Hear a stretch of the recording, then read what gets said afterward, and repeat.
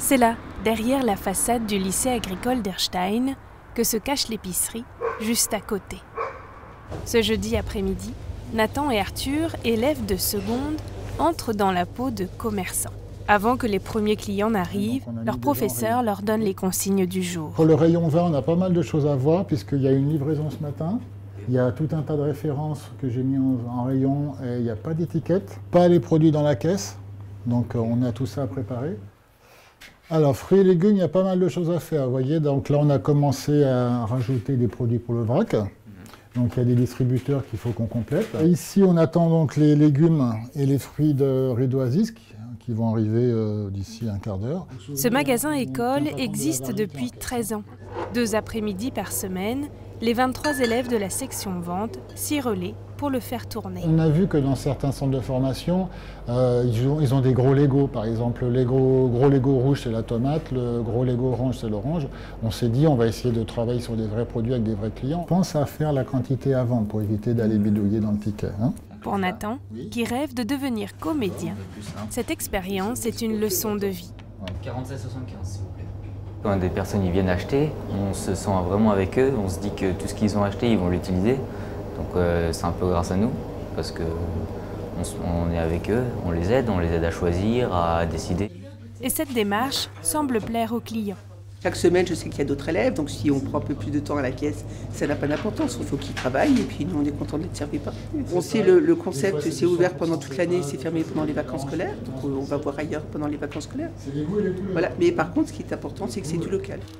En effet, ce magasin associatif collabore avec 40 producteurs d'Alsace et des régions voisines. Réceptionner le tout, enrayonner, étiqueter, les élèves ne chôment jamais. Souvent on fait des erreurs euh, pendant qu'on travaille et que du coup ça nous oblige à tout recommencer, à refaire. Ah, souvent c'est un peu embêtant mais à force on s'y habitue et on fait de moins en moins d'erreurs. J'ai pour euh, projet de travailler dans une cave à vin. Ça me donne, euh, oui, un avant-goût, ça, ça m'éclaire un petit peu sur mon futur et ça m'aide vraiment. C'est tout l'intérêt de ce magasin école. Donner envie à ces jeunes de travailler dans la vente une filière où ils atterrissent souvent par défaut.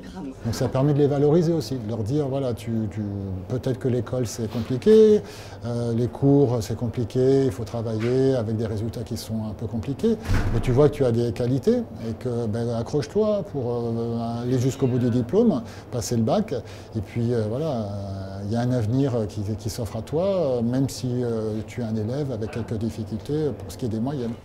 Je laver mes chaussures. Retour en cours pour Nathan et Arthur. Mais dans toutes les matières, le magasin n'est jamais loin. La consigne, c'est de prendre la photo en gros plan, qu'on voit le produit, hein, qui soit centré, et que ça soit une photo au format carré. Donc je vous donne à chacun un produit, vous allez le mettre en situation, on ne va pas prendre la photo devant l'ordi. C'est parti pour 15 minutes de créativité, des plus audacieuses.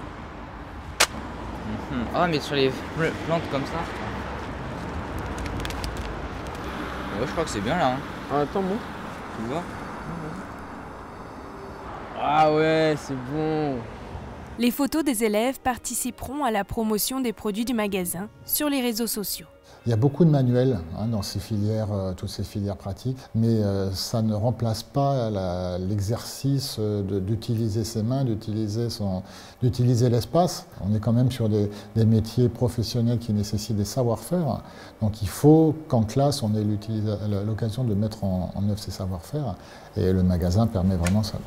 Une chance qu'on peut de lycée du secteur tertiaire, une chance qui repose sur une noble conviction le bien vivre ensemble.